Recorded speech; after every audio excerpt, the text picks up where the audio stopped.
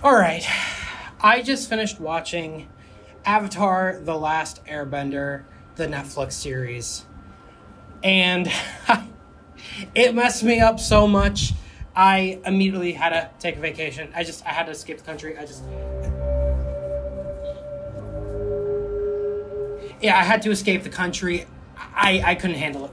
Listen, uh, for those that don't know me, I am a huge fan of Avatar: The Last Airbender. The the the, the cartoon series. I it is my favorite TV show of all time. He's coming near my feet. Uh, this favorite TV show of all time. Um, I absolutely adore the show. So I was excited initially when I heard that they're making a live action version of it on Netflix with the creators' help and everything.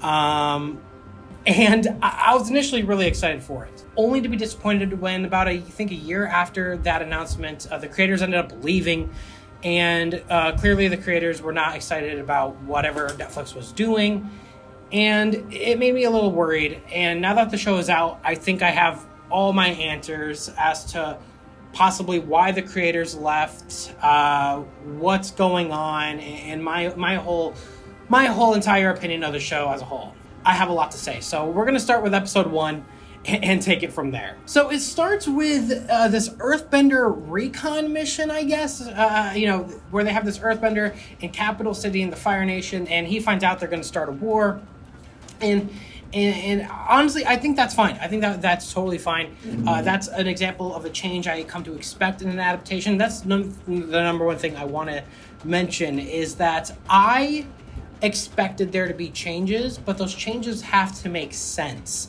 And that is something I will say regarding the show is a lot of the changes they did didn't always make sense, and that's what really bothered me. Um, but this is an example of a change where, yeah, sure, okay, an Earthbender was there. They find out about the war.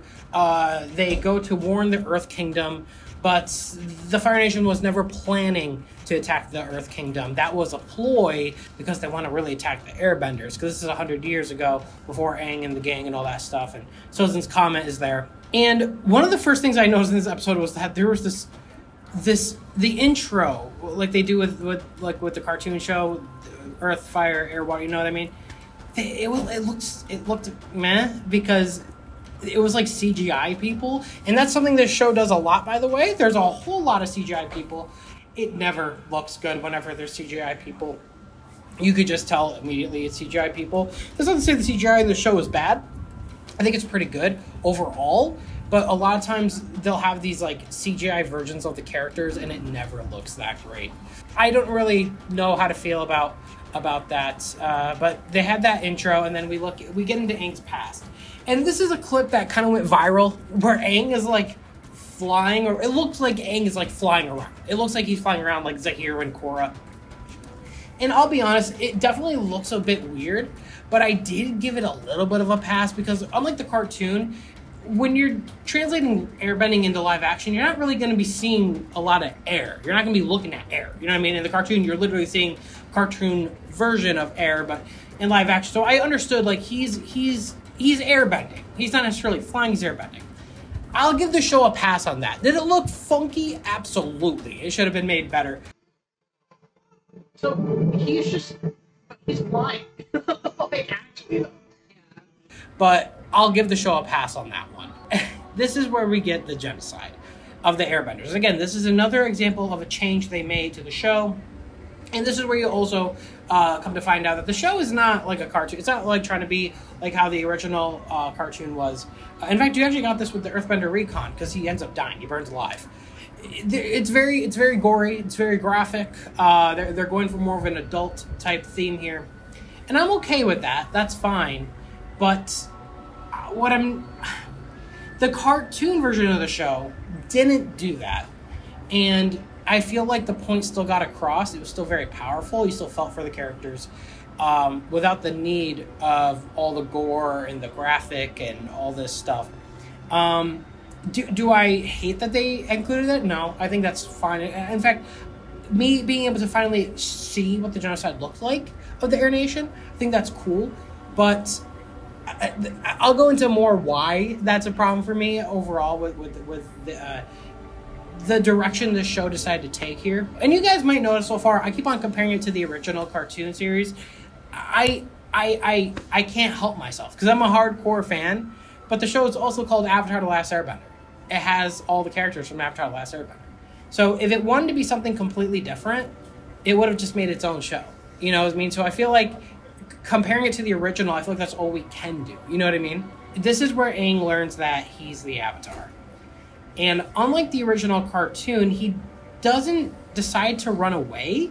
He decided to just take a ride on Appa randomly during a storm to clear his head. To, to, to, to he, he said, ah, yeah, I want to ride into the sky where I could really think about this. And it's like, that's an example of a change that's really unnecessary, but it also just comes off to me as more unrealistic.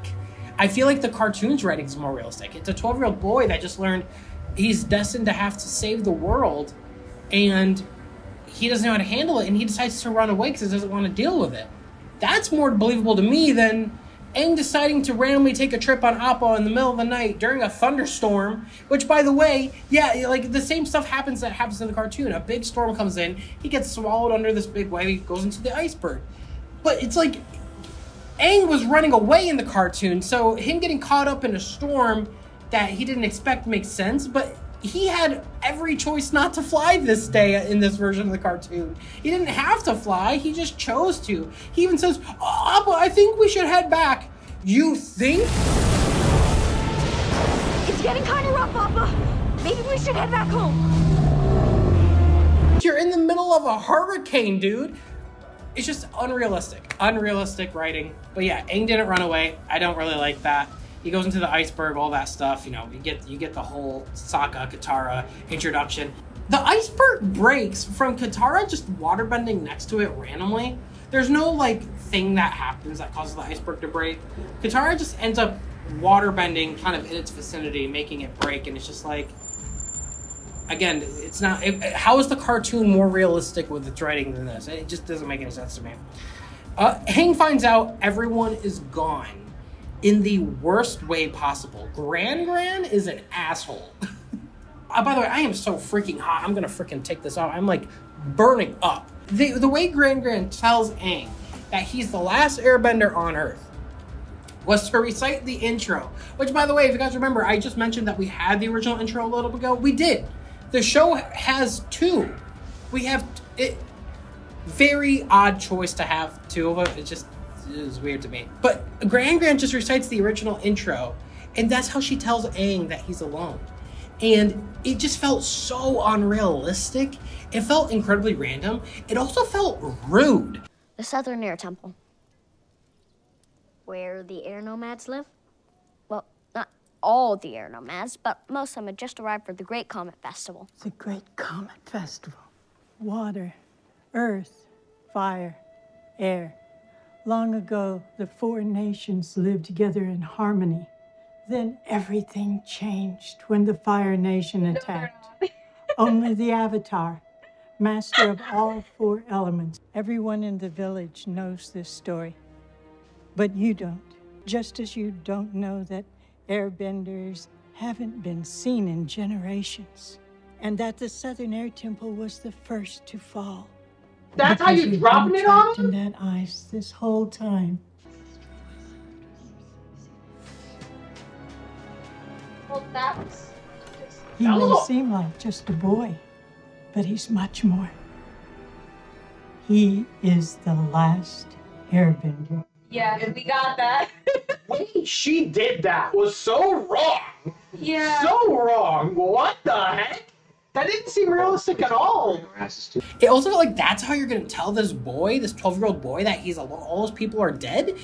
It just didn't. It, I didn't get it. I didn't get it at all. I didn't understand it. But it, right after that too, Aang is like thinking about the fact that he's alone now. He's like sad on top of a roof. You know what I mean? He's like sitting like this, like all sad and Katara, this is where you get to see how bad of an actor Katara is. And I'm really sorry to say that. Katara is the worst part of the show, both her character and the actor that plays her.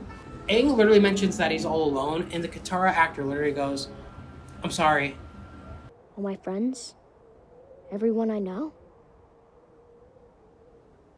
They're all gone. I'm I'm sorry. I'm sorry. The Katara actor cannot show emotion. They has she has no emotion in this. It's it's so annoying. You got the Fire Nation ship after they take Aang. This is another example of the writers not really understanding that they're already contradicting themselves. Because in the first episode, we see him kind of like flying in a way, like using airbending to kind of maneuver himself in midair, essentially flying, but not in the way people were saying it. He's flying online. But you see him like falling when he doesn't have his glider. It's like, why are you why are you panicking? You can save yourself by airbending. I don't know. Just this, another example of the writing not really being clear sometimes. Katara here, after they save him, Katara waterbended from like 2,000 feet in the air, about as higher than where I am now, actually. She was like, they were super high into the sky on Appa. Zuko shoots these fireballs at them, and she waterbended this giant wave from 2,000 feet in the air and stops the water.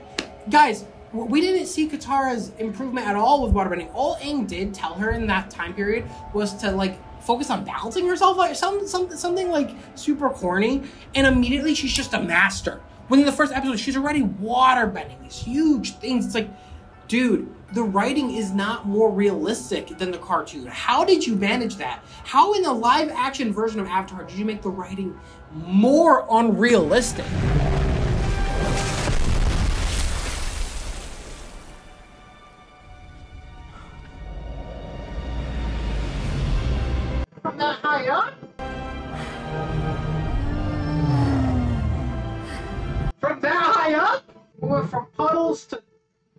Water a thousand feet in the air. They didn't really care about the characters developing their bending, developing their powers. That was a major part of the cartoon that really bummed me out when I realized that. And then after they save Aang, they go straight to the southern air temple where Aang, you know, grew up, and you get the Avatar state where Katara is like, you know, you know, to bring Aang out of the Avatar state, like in the cartoon, she does the same thing. Aang, we're family now. All that stuff but we didn't see them really interact in the cartoon. They went penguin sledding, you know. Aang clearly already likes her. He literally admitted that to Appa. He he thinks she's you know cute, and and, and they had time to, to get to know each other. But in this version, they really didn't. They didn't really talk that much. They didn't hang out that much. It just felt rushed. It didn't really make any sense. But uh, regarding episode one, let me talk about the good and bad. The good is the action. There's good action and, and showing more of the original story, which is what I want from this adaptation. Take the story that's there and just add to it. You don't have to change it too much, just add to it. Give us something new here that we couldn't get in the cartoon. Um, I like them showing like the genocide. I, I liked that. I like them showing more of what we get to expect in this original story, and I liked the action. But the bad parts, the acting, the Katara actor, uh, Saki's actor is pretty good. Uh, Katara's actor is horrible. Aang's actor's okayish. CGI shots looked super funky at times. Uh, just having like CGI versions of the character, especially Aang. They have CGI versions of Aang all the time. Whenever they can't make a live action version of him doing some sort of move, they have a CGI version of him. And it doesn't look good. There's so much exposition. Oh my god! And this is gonna be throughout the entire show. They just have exposition, exposition, exposition thrown at you. They don't show anything. They just do it in word vomit form. It's it's not great. Rather than telling and having a flashback to the genocide at that moment, they just have Gran Gran recite the intro in exposition form. That's how she tells him. Uh, Katara's "I'm sorry," which is it's just the acting. It's just bad. It's bad. So let's just jump to episode two. This is where they find Momo at the Southern Air Temple. Uh, Katara gets her waterbending scroll. Uh, she got it from Gran Gran this time. She just had it this whole time. And this is the part that really, really pisses me off the most about this show. Katara doesn't learn waterbending with Aang. In fact, Aang throughout this entire show never bends water in and of itself. He goes into the Avatar state and all that stuff, but he never actually bends water himself. And this stupid freaking scroll is how Katara learns waterbending in its entirety. This is how she becomes a master. She doesn't learn waterbending from anyone else in this show because the the writers in this show already made Katara perfect. No character flaws, no character development. She just gets this scroll from Gran Gran that Gran Gran had all this time, and Katara's perfect now. She could just look at the scroll, study it. Aang and Katara never bond. They never they never try to learn waterbending together, and she learns way too quick. And it just oh my god, how is this? How is I gotta ask this to people that defend this version of the show? How is this a genuine improvement from the original? I don't see it. I don't see how this is a genuine improvement. It's not. They arrive at Kyoshi Island. The statue gives Aang, uh, gives a sign that Aang's avatar by literally glowing its eyes at Aang, which is wild. The Kyoshi warriors at first didn't believe that Aang was, you know, the avatar. And it's like, again, more unrealistic writing compared to the cartoon. In the cartoon, they believed him because he's an airbender. He's airbending. So they believe, oh god, he must be the avatar. He's airbending. They're, airbenders are supposed to be extinct. The avatar disappeared as an airbender. This must be the avatar. That's realistic writing. In this show, the, the airbending wasn't even enough. They didn't believe he was he was the avatar, even him being an airbender. It wasn't until Kyoshi had her glowing red, uh, glowing eyes at him that they believe it. It's like, really? This another example of the writing not being better than the original, not being an improvement. It's a downgrade. Uh, and, and an unnecessary change at that too. It's not that they had to make a change and it had to be this way. No, some writer in the writer's room changed it for no reason and they just made this mess. It's like I, I don't get it. Sokka and Suki still grow their relationship, but it's not as charming as the original, but it's still not bad. It's really not. And that's a good I will give this episode, but the bad in this episode. Sokka doesn't get much of a character arc at all. And I know this is a bit controversial, uh, that people talked about it online, uh, but they took away Sokka's, you know, sexism, sexism, uh, his sexist tendencies from the original. As someone who advocates for, you know, you know, people being treated equally and all that stuff, I think the best way to educate people on a subject matter as horrible as you know sexism or you know anything like that is show a character their flaws and have them learn from it.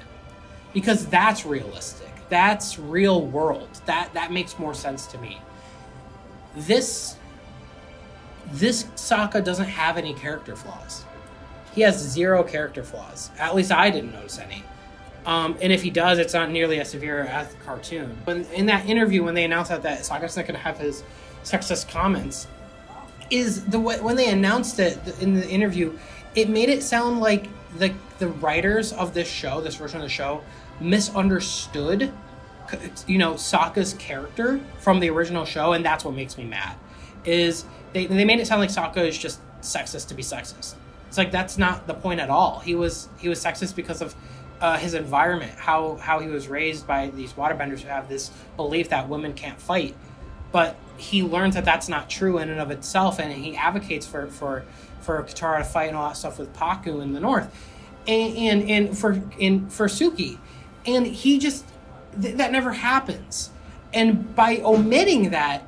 I feel like you're actually causing more damage to that message because that message never really gets across now. Again, I feel like the best way to educate people on a very on a real world problem is to show a character their flaws and have them learn from it that's realistic that's that's growth and that shows the viewer who may believe that nonsense that it's not right and i think the original creators did a great job of doing that in the cartoon it was a great message and i grew up on the show and it, it taught me that message well if a kid was watching this version that's never going to cross their mind i feel like that message is more important now more than ever and the fact that these writers decided to omit that I think it was actually really careless on their part. Uh, the dialogue is not great.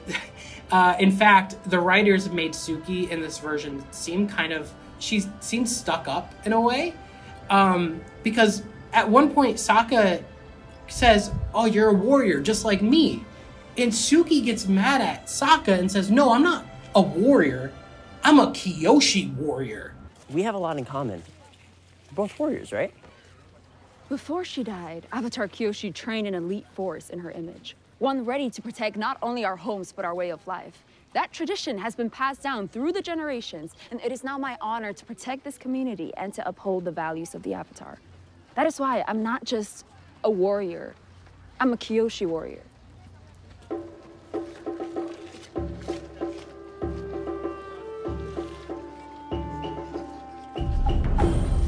In the original show, that happened when he was making sexist comics to, comments toward her. She said, I'm not just a girl, I'm a warrior too.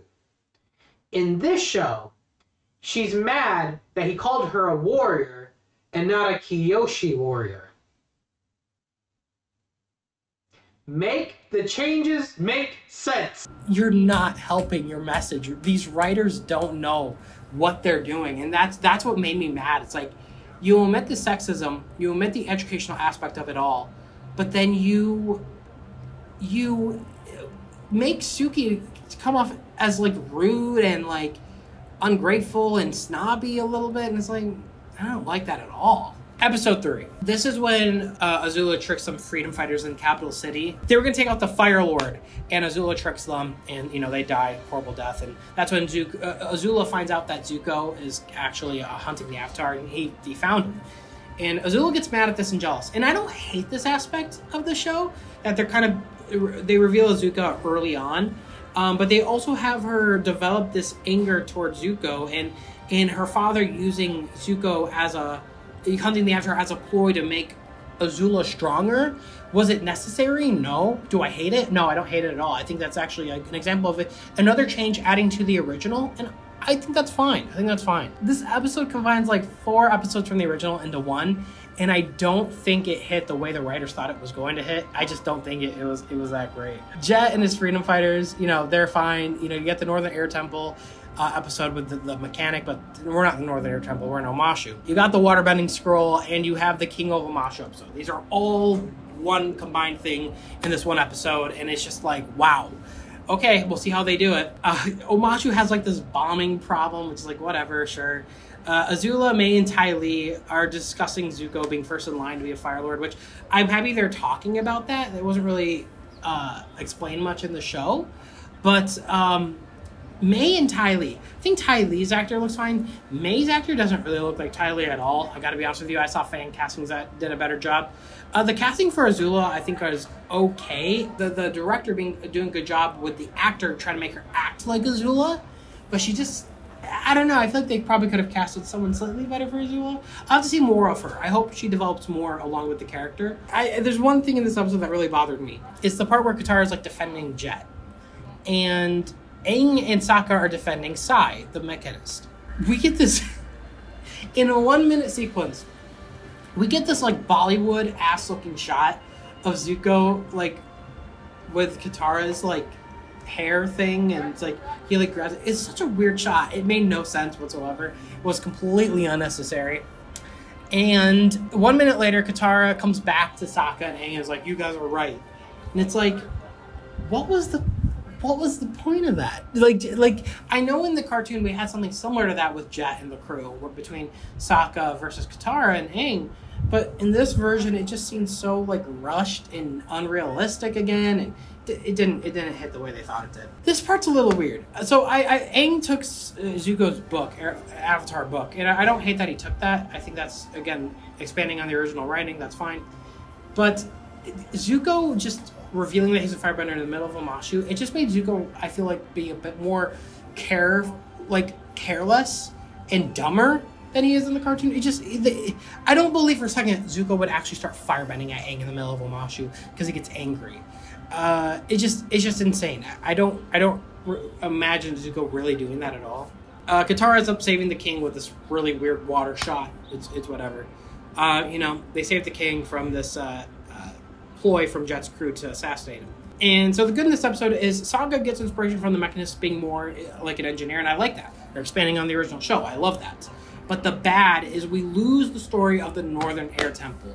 Uh, and I hate that because that was an episode where Aang has to really come to terms with the fact that he's the last airbender and history's kind of erasing him. And that kind of messes with you a bit. But they didn't really explore that here at all. The scene where Katara, there's a scene here. There's a scene where Katara splashes herself with water, and the effect looks so bad. She stayed dry, by the way. She was like dry. I'll show the shot here.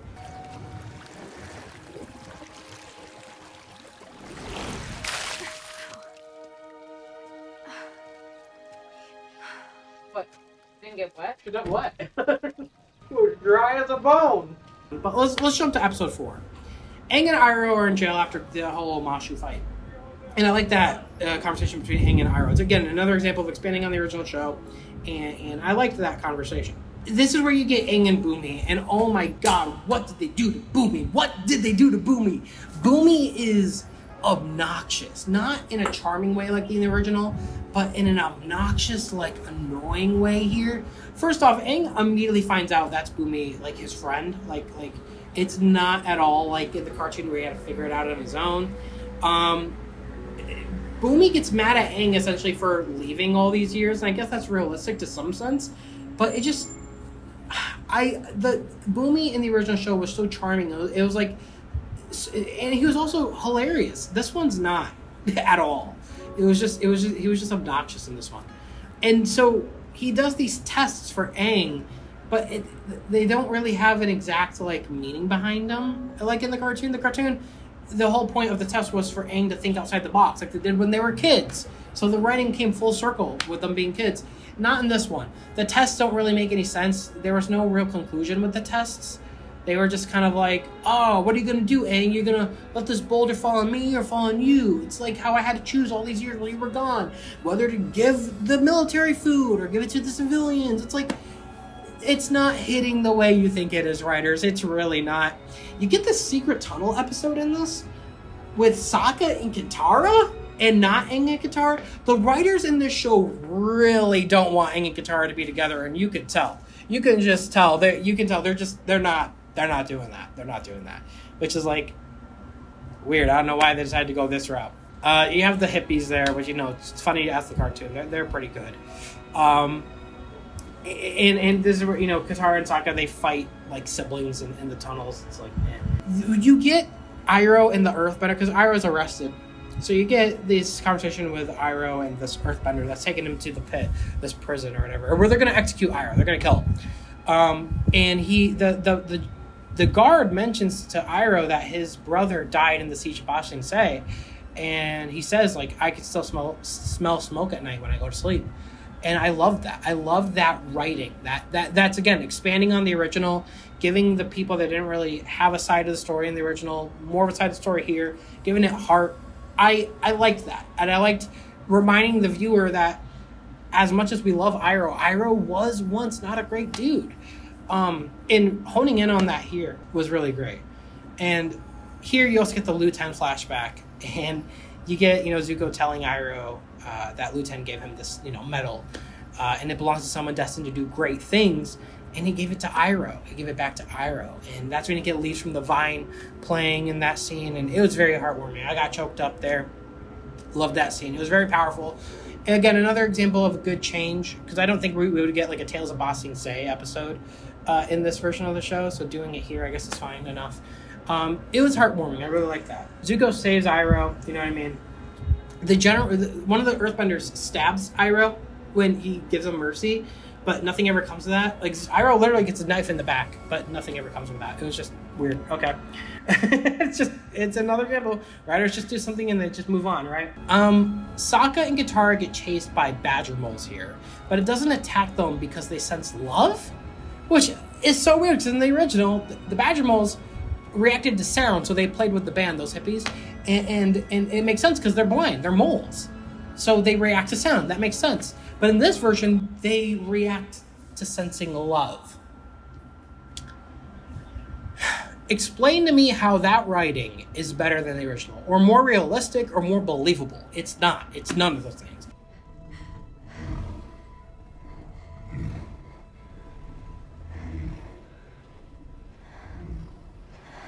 Love is brightest in the dark. It wasn't about the crystals. That's not what guided Oma and Shu through the mountain. It's blind. They don't navigate by sight, but by feeling. They sense feelings and react to them.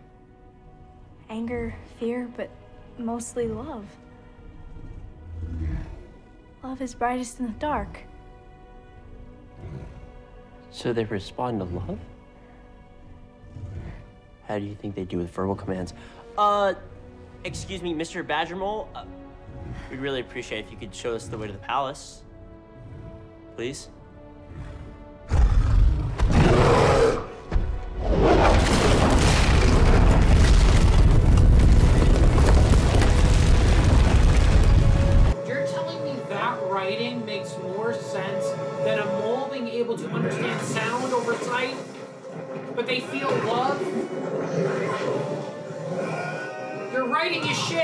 They save Aang from Bumi, who wouldn't help Aang with the falling rocks by like icing the floor, and Sokka like slides on the ice and then tackles Bumi. It was such a weird shot.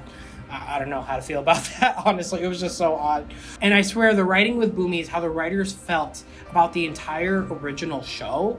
Uh, like, because Bumi's whole mentality in this episode is who has time to play games, Aang?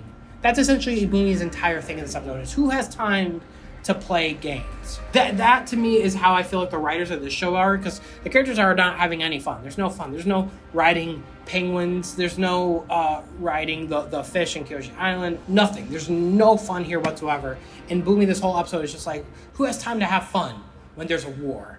So it's like, dude, the writers. I feel like that, like that right there is just how the writers feel about the show in and of itself. Compared to the original, the test that Bumi gives Aang, like I mentioned, don't really have a clear reason. The OG wants to think outside of the box. This one is literally like you can't rely on anyone. It's like that's so dumb. It's not a good. It's not good writing. It's not a good uh, uh, conclusion to these tests whatsoever. Katara in this episode is constantly pestering Sokka in the tunnels for no reason.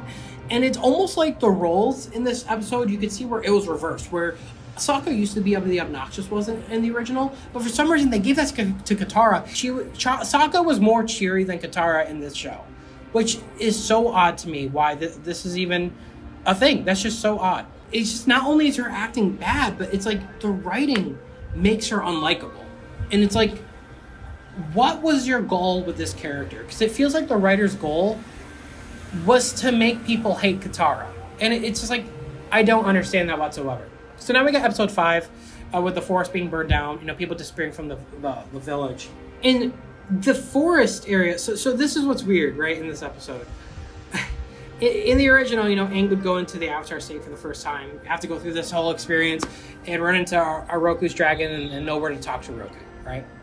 In this one, he accidentally brings Sokka and Katara with him into the Avatar state, which is so odd. Um, and it's also weird because it's not his first time in the Avatar state, or in, in the spirit world, I mean. Because he did in Kyoshi Island, where Kyoshi essentially told him everything that Roku was supposed to tell him. And also, Kyoshi in that episode was just yelling at Aang. There, there, nothing really happened in that episode. She was just yelling at Aang. And in this one, Aang is like, oh my god, I can't bend, all this stuff. And Katara's also like, oh my god, I can't bend either. And it's like, but Aang, you were already in the spirit world. You didn't, you didn't at all react to it a little bit ago, but now you are. It's just weird, just a weird, uh, uh, you know, change that again doesn't make much sense here. But again, yeah. So, so Sokka and Katara go along with Aang into the spirit world, and there is no explanation about about how they were able to do that because you can't really do that in the original show at all. Aang, for some reason, is acting all chill about it too. Like Sokka and Katara are freaking out. Like, where are we? How did we get here? And Aang is just acting so chill. It's just so odd. It's such a weird change. It doesn't make any sense. Here you get the the the owl from the library episode in the original here for no reason, which is really like I I can't say I don't know what to say about it. He was there for no reason. Uh, My reaction says it all. No human belongs in this room. That is one big birdie. Birdie, I am no birdie. I am. Walking out. I'm done. I'm I, I can't do this show. Thanks for coming. Hey Heibai is in the spirit world, but he's not. He, we didn't really see him interact with the real world, which is the whole point of the people disappearing from the village in the first place, where the burned village, was because you know Hey Heibai was mad. But you don't really see him in the in the real world. You just see him only in the spirit world, but only for a brief second too. By the way, you know Sokka finds a talking fox. Yeah, I don't know what to think about that. Pain. Pain. So much pain. Actually, they're just scratches. Not you. Hey, bye. Hey, what? Hey, bye. That spirit. It's in a lot of pain. I must have landed harder than I thought. I'm a little discombobulated. Uh, Katara gets a vision of her mom's death. You know that it's it's super hard to see. Sokka gets a vision of his dad being disappointed in him, which is like again another example of the writers making a character that was likable like unlikable. It's like what dad actually does that? Like that, like that's horrible. It's horrible. I don't believe Hakoda would actually be like that in this version. You know, Aang gets to say goodbye to Monk Gyatso. So I don't know if I like this change because this gives Aang closure that he didn't already have in the original show. And the original show covers that topic of not getting closure and having to deal with loss. But this version of Aang gets that closure with Monk Gyatso. He gets to say goodbye. And again, that I feel like that just weakens the character arc. It just weakens the character, and it doesn't give the audience member something to relate to, a real world thing. People don't get closure all the time, um, and having to battle that. I liked Aang forgiving himself for what happened, for him having to leave or him running away, and, and that whole thing happening with the Airbenders. He had to forgive himself for that and move on, and that's really powerful. But and that's another topic that the show covered so well in the original was when you're so down on your luck where giving yourself hope and the reason to keep going is more powerful than someone giving that to you. You actually forgiving yourself is such an important thing and such an important lesson, and this show doesn't cover that. It, this show actually gave him that closure, and it's like. Let's talk about the good and bad here, because now I have to really go into the nuance of this episode here. I like Azula, you know, getting trying to get become perfect at what she does because of Zuko's success. But that's really the only good I could give this episode because there's a whole lot of bad. Aang was already in the spirit world in Kyoshi Island, but for some reason acts like it's his first time in the spirit world. No reaction whatsoever. Katara literally looks like she's holding back a smile when she's about to die from Heibai in this episode. I'm not joking. Here's the clip.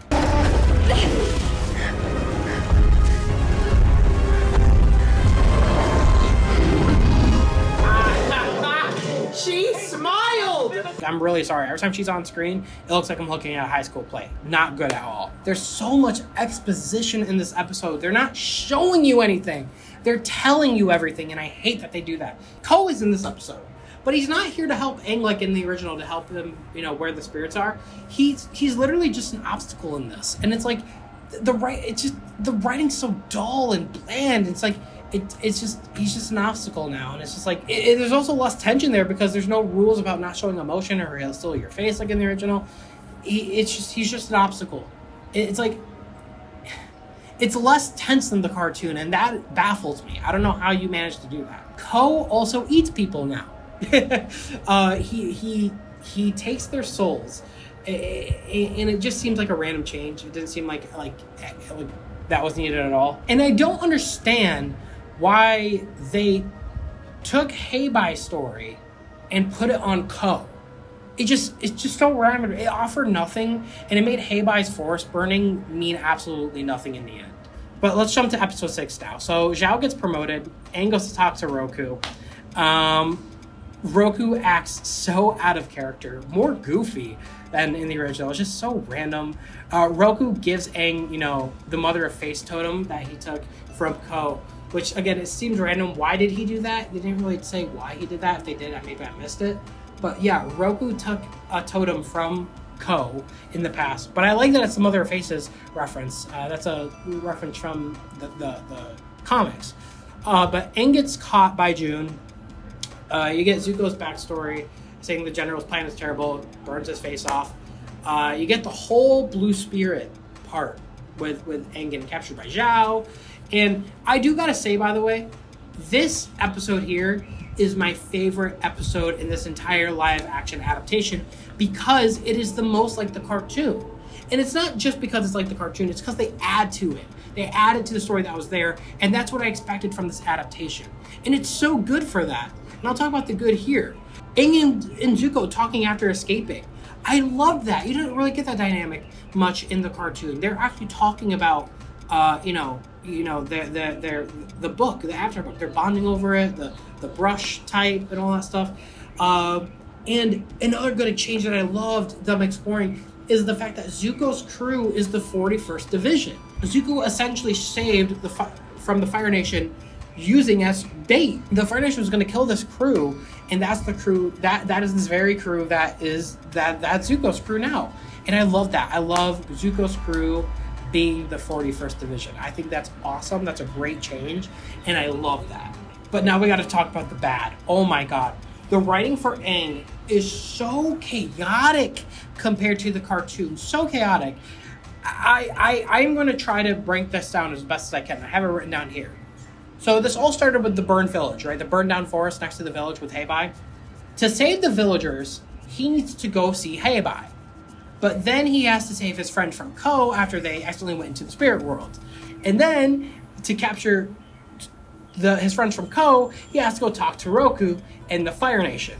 Then in the in, in the process of, trying to talk to Roku, Aang gets captured, and then he has to escape to save his friends from Ko. Do you see how crazy this is? The, the simple story of having to save the villagers that are disappearing from the vi- village turned into having to save his friends from Ko, turned into having to go to the Fire Nation, turned into having to escape from being in prison, all to go back just to save his friends. The, the story is just more chaotic. The writing just doesn't make as much sense. I just, I don't understand it. I don't understand it at all. Why did Roku take the totem from Ko? Seriously, why? They never talk about that. It just seems so random. And the, the other big thing here, the another big change, Roku didn't warn Aang about the comet or anything. He, he didn't he didn't comment about the, the comet at all. In fact, Roku barely talked in this. Roku is the avatar before Aang. You know, all of Aang's problems he's dealing with now were inherited from Roku. So the fact that they barely talk in this just seems so random, and I just don't like that. I don't like that. I don't buy that at all either. It just seems like such a random change. And again, there's more CGI character fighting in this that looks horrible.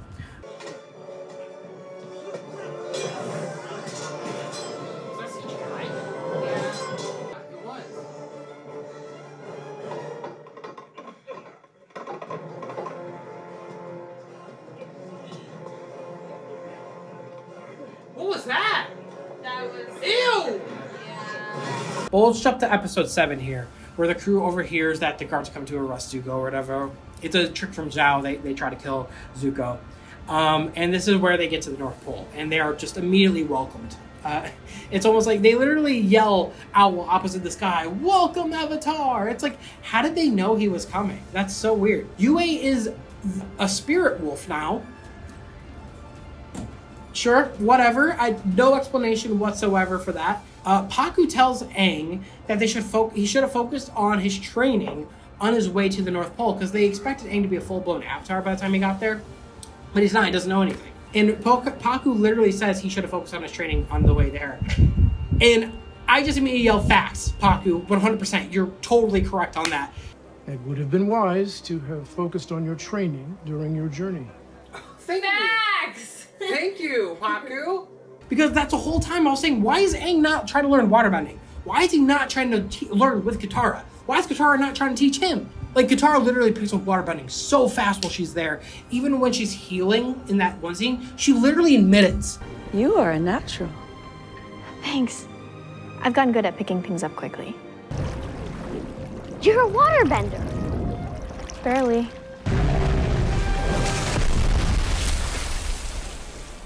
I've gotten good at picking things up quickly. An otter penguin could bend more water than I could.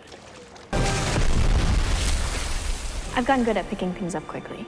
Why? This is just so, you're just rounding this character. There's no no arcs whatsoever. I hate that. I hate that. I hate that. In the original cartoon, this might be controversial. In the original cartoon, Yue was in an arranged marriage, and it co- it, it talks about the it covers this topic where she really likes Sokka, but she was in this arranged marriage, and she has to do this for her people and her, her tribe and all that stuff and their traditions.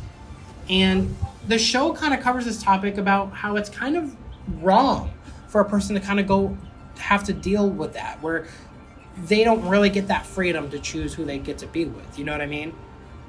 It's a very real world topic. It's a very tough topic to cover in a cartoon, but they did. They managed to do that. But in this version, they Yue had the power to break it off already. She already broke off her her marriage uh, with the guy, and to me, it just comes off as once again there is no character flaws whatsoever. Um, there's no arcs, and Yue, just like Katara and Sokka, she's already perfect. She's already perfect. She she didn't need to grow or learn anything from it. She's already super powerful, and Yue's also a waterbender now too. But she had the power to break off the marriage immediately. There's no real world scenario here whatsoever. There's no storytelling. There's no lessons to be learned. There's no education from it. There's nothing. There's nothing for the viewer to get from this other than Yue is already perfect. She had the power to break off the marriage. That's it. When Yue reveals herself to be the fox, it's literally just an exposition dump. It was just an exposition dump of her being part spirit, not really showing anything, just you know, talking about it. Um, talks about her, you know, when she was a baby and she she she had to get her some of the life from the moon, all that stuff. It, they didn't show it like in the cartoon. There's no flashback. It's just exposition. It's just not not nearly as as, as good. She randomly kisses Sokka in this moment, which the, their relationship did not grow like in the cartoon. It didn't feel warranted. It just not the cartoon did such a better job at growing their relationship over time. I, I I'm looking at my bullet points here, and under the good tab, there's absolutely nothing. But the bad tab has quite a bit, so let's go over that. Yue's hair looks absolutely horrible. And this is my daughter, Princess Yue, our tribe's spirit. Her wig looks so fake. I'm actually, I can't believe I'm actually gonna do this. I never thought I would. I should probably just jump off this balcony now. I'm gonna compliment the 2010 movie. Yue in the 20, can you stop with the whistle? Stop with the whistle. Thank you. Yue in the 2010 movie actually looked better than this adaptation. I can't believe I'm saying that, but it's true. Yue in the 2010 version looked more like Yue than this version. I can't believe I'm saying that, but it's true. Nothing about Master Pakku's relationship with Gran Gran was ever mentioned, by the way, in this version, so I don't know why it was taken out. Katara is already a master at this point. Again, not showing you how she got this far or anything like that. She just is a master. I've gotten good at picking things up quickly. Yue's arranged marriage was glossed over. Once again, real world issues not being explored. This version didn't talk about that at all. So there's nothing to learn from this or to relate to this at all for real world scenarios. Nothing. Yue's relationship, relationship with Sokka feels super rushed and not warranted at all. This is the part that I don't understand, right? They took out Sokka's sexism, right? They, they talked about it in the interviews. They took out the sexism. But Pakku, Pakku in this has character flaws because he's sexist. He's super sexist in this episode. He talks about how women can't fight, it's not in our traditions, all that stuff. So then it makes me wonder wait, if you kept Pakku, sexism, like in the cartoon, and, and, you know you're you're showing Katara that you know that you know she can overcome this. It's wrong for them to be doing that. Why did you do it to Sokka? If, if like if you were afraid of talking about those topics and you took it away from Sokka, why do you still have it here for Pakku? It's another it's an example of the writing just not being consistent and didn't make any sense. And I just don't understand here too. So they already established in this version of the show that Aang can only call upon past avatars when he's at their shrines. It's a limitation, but it's like whatever. It's a change. Aang was trying to call on Kuruk for help, but he Kuruk's not really helping.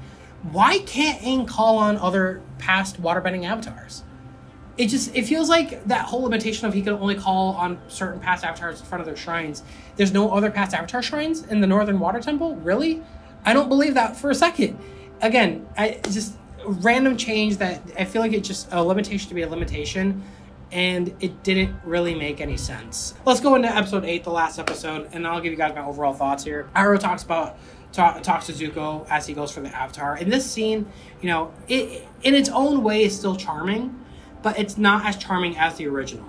Because you know in the original Iroh tells Zuko that he thinks of Zuko as his own. Like I think of you as my own son. And that's super heartwarming and it really hit in the original. But in this one Zuko just tells Iroh Lu Ten would be proud. And that's not to say that's bad but I, I just don't think it hits like the original does. So it feels like this change again is, is another downgrade. Katara is asking Pakku if she could fight after determining that she doesn't need to ask. You said you're afraid of losing us, and that's why we can't stay by your side. But it's my decision to fight, not Pakku's and not yours. I'm here to help. Now's not the time, Katara. Now is exactly the time. I thought I made myself clear. Women are not allowed in combat. I thought I showed you how stupid that is. I've gotten good at picking things up quickly. Katara already established she doesn't even need to ask Pakku anymore to fight. She's just going to do it. But in this episode, she is still asking Pakku if they can help. So it's like, okay, so you're still looking for for permission to fight from this super sexist guy. And also they decide to do that in the middle of the war. In the cartoon, they, they got all that stuff out of the way before the Fire Nation was at their doorstep. But here, they're literally already being attacked and that's when Katara eh, decides to do it. And it's like, it's not realistic it's bad writing and it's also super cheesy the way they did it. They had like a line of all the girl characters out there. It just it was very cheesy. It didn't hit the way they thought it did. It just didn't. Zhao learned about the water and moon spirits from the fire temple in this version, which makes no sense. Uh, in the original, he learned from the library, but I don't know if the library is even going to be in this version. But he learned from the fire sages? That didn't make any sense to me whatsoever. Momo, there's a Momo sacrifice in this episode where they, they trick you into thinking that Momo was going to die. But when you think about it, it was literally just an excuse for Sokka and Yue to go to that spiritual area because they needed to be there for the story to continue. And they had no other way of doing it because in the original, they had Sokka and Yue show Aang where to meditate. But because he doesn't do that in this episode, they just need an excuse for them to be in that location. So they just had Momo do a sacrifice thing, which was, again, very random. And it also goes to show that Momo is doing more than Katara. I've gotten good at picking things up quickly. Zuko appears to fight Aang, but Katara decides to fight him, and Aang decides to leave her to fight Zuko, which is like, I don't believe that for a second that Aang would actually do that, where he would leave Katara to fight Zuko alone. Uh, Zhao kills the moon in this, and Iroh kind of just watched it happen.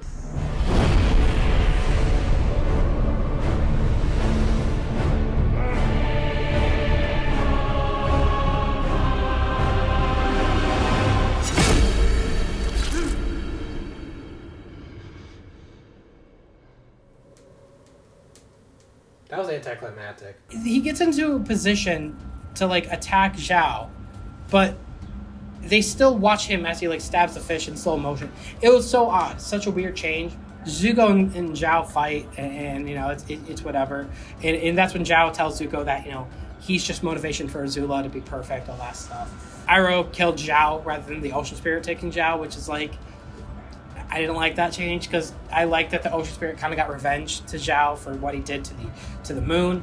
But in this, just Iroh kills him. Uh, Katara brings back Aang from being the Ocean Spirit, but it didn't make much sense because in this version, Aang and Katara don't really have much of a relationship or character development with each other. But in this one, she's talking about how, you know, I need you, Aang. I need you to come back. All this stuff, but also it's it's the fact that they didn't have any time to like grow with each other. So it just it just fell flat. Yue gives you know her life back to the moon, and the father's reaction wasn't as powerful as the original. He does he didn't mention how he was proud of his daughter. Uh, the attack on the north was as distraction for o- them ta- the Fire Nation taking over Omashu apparently the whole time, and it's like how was that a distraction? What did that? They were already in the north. I don't know how Omashu being attacked would have changed anything. And the comet was mentioned at the very last uh, minute of the episode before the series ended, where they mentioned Sozin's comet returning. Almost like they forgot that was the main part of the story in the original, and they just had to tack it on at the last minute there. We have devised a method to better understand celestial motion. No way. There's no way. Y'all's writing is so It's taken shit. hundred years. We didn't know where to put this in. So I'll talk about the good real quick. Zuko being, you know, Azula's motivation is good, and Aang being emotional after the fight and destruction of the Northern Water Tribe, I think was also good. But there's so much bad. The CGI characters fighting looked horrible. Iroh had no spiritual connections in this show whatsoever. So, you know, they in the original, Iroh had was it talked about him being in the spirit world in the past. And they even had a vision of him seeing Aang in the sky on Roku's dragon in the original.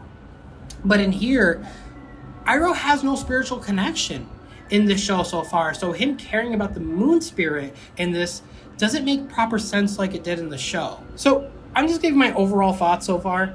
If you guys notice, a lot of my problems with the writing literally happened because in this version of the show, they took out the whole thing with Aang needing to be protected in the uh, spirit area, the Oasis, uh, while he was in the Avatar state in the original. So there's just a lot of problems that I feel like happened just because of that small change of them not being in the Oasis and him going to the Avatar state then and learning a lot of the backstory there from Ko and all that stuff.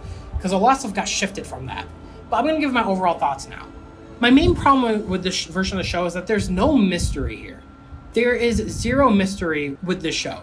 They revealed all their cards and character backstories in the first episode. Uh, and I liked that about the original. I liked finding stuff out along with the characters. I liked Aang finding out he's the Avatar, and and Katara and Sokka finding out that he's the Avatar, and and uncovering what what this means, and all this stuff. All of those cards are revealed like in episode one, so there's no surprise there whatsoever. Um, the characters constantly narrate their internal thoughts all the time. And it's super unrealistic when they do that. And it's super bad writing. I'll give you an example. Aang in the first episode, before he flies on Appa after being told he's the Avatar, literally says, I need to remember who I am. But I know who I am.